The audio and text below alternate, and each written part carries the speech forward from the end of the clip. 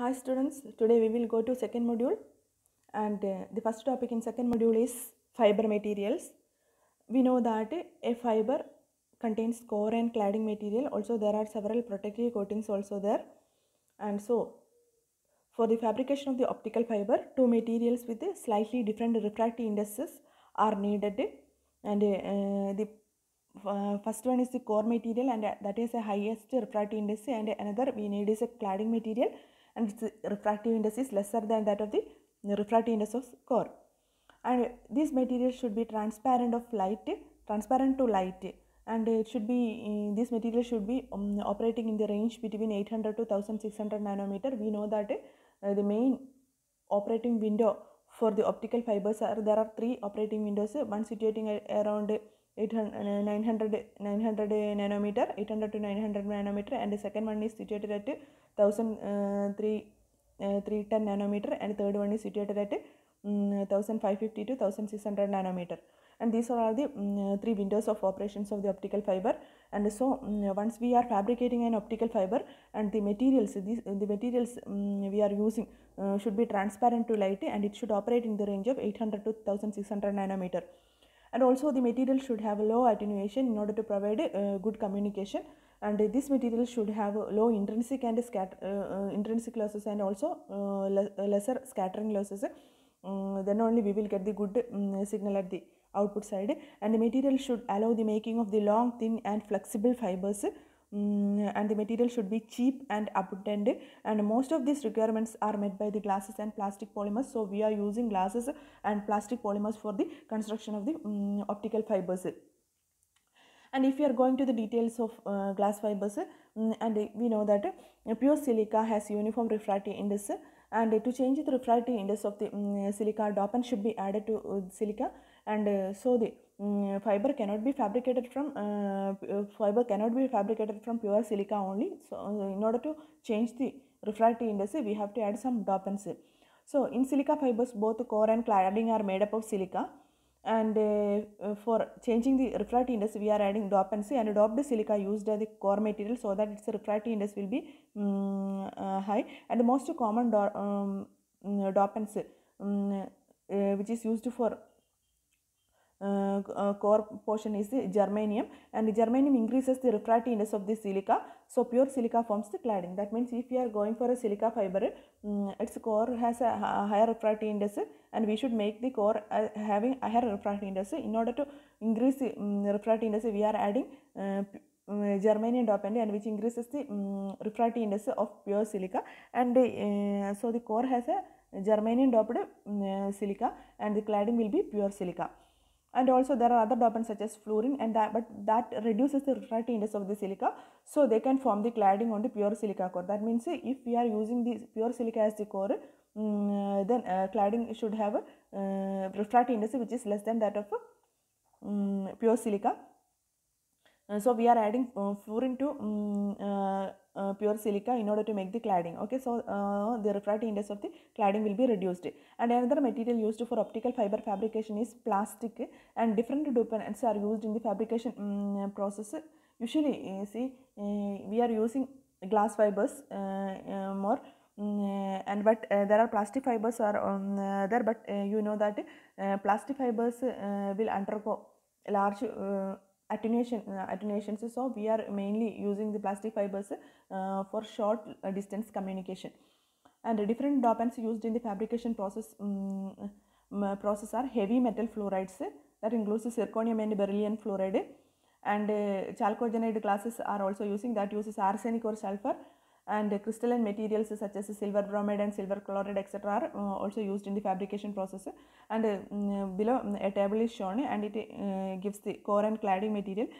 See if you are using pure silica that is SiO2 silicon dioxide as a core material then the cladding should should have lesser refractive indices. Or we are adding um, dopants to the pure silica. And here the dopant used is B2O3 um, and that will reduce the um, refractive index of cladding material.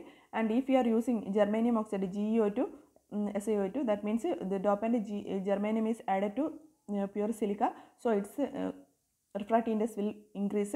Uh, in that case we can use uh, pure silica as the cladding material because its refractive index is lesser than that of GeO2 SiO2 and uh, in the third case we are using P2O5 um, SiO2 as a core material. Uh, phosphorus uh, is doped um, doped uh, into pure silica. So its refractive index will be increasing. In that case also we can use pure silica as a cladding material. So SiO2 is used, uh, used as cladding material. And uh, there are different glass fibers and uh, in, in the case of glass fibers and you see usually glass composed of pure silica. And uh, this pure silica is referred as uh, silica glass or fused silica or vitreous silica. And the glass is made by fusing mixtures of metal oxides sulfides or selenides and the dopants which increase the refractive index are added to pure silica to make the core. And the dopants that decrease the refractive index are added to pure silica to make the cladding. We know that the core refractive index should be higher than that of the cladding. So uh, when we if you are using core um, dopants to the core uh, the, the dopants should be should increase the refractive index of the core. And if you are using dopants to the cladding then that dopant sh- should decrease the refractive index of SiO2 okay pure silica. Okay next is uh, halide glass fibers. Mm, at longer wavelength mm, we know that absorption losses by silica is high. And the materials that are transparent in this range are uh, zirconium fluoride and barium fluoride and with some other components added to form the glass compound. And fluoride glasses belong to the family of uh, halide glasses. And next is chalcogenide glass fibers. And chalcogenide glass fibers contains arsenic germanium phosphorus sulf- sulfur selenium or mm, tellurium mm, uh, and these are used as dopants and in the case of active glass fibers mm, when the rare earth elements are incorporated into normally passive glass it results into the mm, materials having new optical and magnetic properties. And usually in the case of active glass fibers we are mm, commonly used dopants are erbium and neodymium. Erbium and neodymium Next is the plastic optical fibers. Usually plastic optical fibers are used for short haul communication that is the distance is in the range of 100 meter and some compounds used in plastic fibers are a polystyrene core, methyl methacrylate cladding and, uh, and uh, other set is a polymethyl methacrylate core and a copolymer cladding. This is all about plastic fibers. Mm, in the case of plastic fibers attenuation and scattering losses are high so we are not preferring that plastic fiber for long haul communication. Next, we will go to the fabrication of fibers and there are different techniques um, for, for the fabrication of fiber.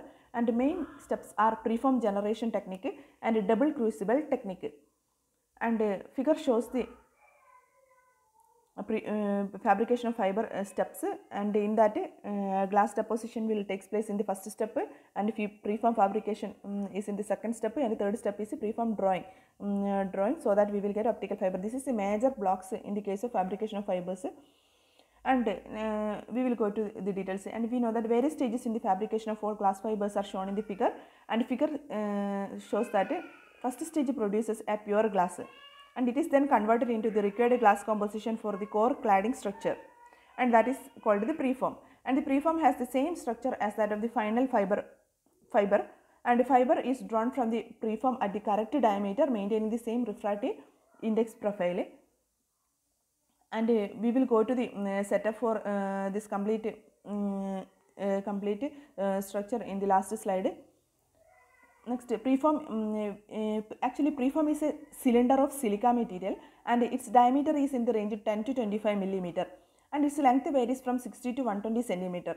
And preform consists of a core surrounded by a cladding with a desired refractive index profile.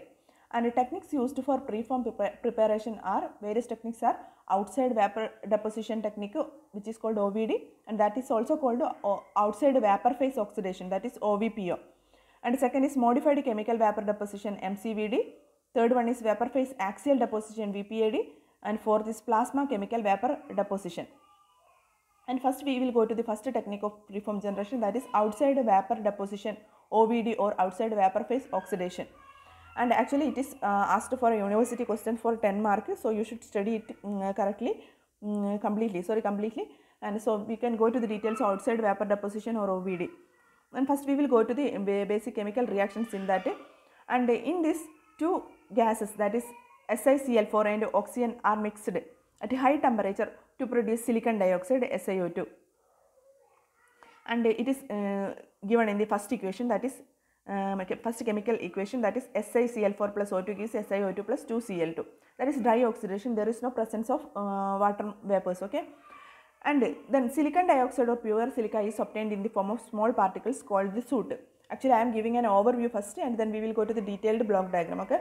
Silicon dioxide or pure silica is obtained in the form of a small particles that is white, particles that is called soot. And there will be a target rod and uh, that on the target rod or tube, a homogeneous transparent cladding material is formed by depositing the silica soot. And we can add dopants to change the refractive index. And the process of transforming soot into a homogeneous glass by melting by heating without melting is called sintering. So sintering is the process by which we are converting the soot into a homogeneous glass. And here heating is uh, taking place but uh, there is no melting. And the soot for core material is made by mixing three gases that is SiCl4, GeCl4 and O2 through flame hydrolysis or chemical vapor deposition. We are not going to the details of we are not going to the details of flame hydrolysis or chemical vapor deposition um, because we are not uh, interested in that. We only need uh, outside vapor deposition process. And the various chemical reaction taking place during this um, preform formation are uh, GeCl4 plus O2 gives GeO2 plus 2Cl2 that is also dry oxidation and and uh, and this uh, this will increase the refractive index we know that germanium um, increases the refractive index so we can use it for uh, this material for core dopant and also SiCl4 plus 2H2 um, gives SiO2 plus 4HCl that is uh, silica and that is uh, obtained in the presence of uh, water vapor so that is wet oxidation also we are using GeCl4 plus 2H2 that will give GeO2 plus 4HCl these are the main uh, reactions takes place in this case okay and next is a schematic diagram of OVD technique and this shows that you can see basic arrangement for the deposition um, and collection of the target rod is uh, shown in the figure. And uh, here uh, there is a target rod or mandrel and you can see that glass or silica materials are deposited on this um, rod and uh, and that uh, glass materials is provided through the burner and in the burner fuel gas H2 and CH4 are um, given and also metal halides plus oxygen is given to the um, burner. You can see that uh, the chemical reactions is here here metal halides and oxygen are reacted. Also um, silicon uh, SiCl4 and uh, H2 are also reacted. And these reactions takes place um, in the burner in order to provide uh, glass particles. And that glass particles uh, will deposited onto the um, target rod or mandrel and when we are removing the target rod we will get the um, we will get the section like this that is central hole after removing the target rod and again it will be go to sintering furnace and we will get um, preform uh, like this clear glass in the form of clear glass. And we will go to the steps uh, details in the next slide. The, uh, that is explanation for this uh, um, schematic diagram of OVD technique. And first what happens is that silica soot is deposited on the surface of the rotating target rod and uh, from a burner moving along the target rod usually uh, the uh, rotating rod is graphite or ceramic mandrel. And we can see in the figure that is silica particle that is glass particle. That is SiO2 SiO2 uh, is deposited on the rod. That rod is ma made up of um, that is rod is made up of ceramic mandrel or graphite. And that will be rotating. The target rod will be rotating and so that um, uniform deposition takes place um, from the burner. Okay and SiCl4 and GeCl4 along with the fuel gas such as hydrogen or methane is supplied to the burner and which is moved back and forth along the rotating rod so as to deposit soot layer by layer on the target rod and also uh, there will be a carrier gas along with the chemical vapors that is supplied through a standard bubble delivery system which is shown in the figure and we have uh, we, we know that here the burner uh, will be supplied with fuel gas such as hydrogen and methane and also metal halides will be given uh, to the burner. And along with that there will be another setup that is not shown in this figure that is shown in the next figure that is carrier gas is given along with the chemical vapors. And that is through the standard bubble delivery system which is shown in the figure. You can see the see here. And that is the bubble delivery system and this its output will be given to the mm, burner. You can see. And the bubbler is fitted with a mass flow controller to monitor the flow of the carrier gas. And the carrier mm, uh, gas is made of bubble um, made to bubble through the liquid in the container for vaporizing some of the chemicals. And the mixture of the carrier gas and the desired chemical vapors is then allowed to flow to the deposition burner. See? Here you can see that uh, mass flow uh, controller is there. That is mfc and uh, that will monitor the flow of the carrier gas. And this carrier gas is passed, passed uh, through the SiCl4, GeCl4 and POCl3 so we, that, that are bubbled through it.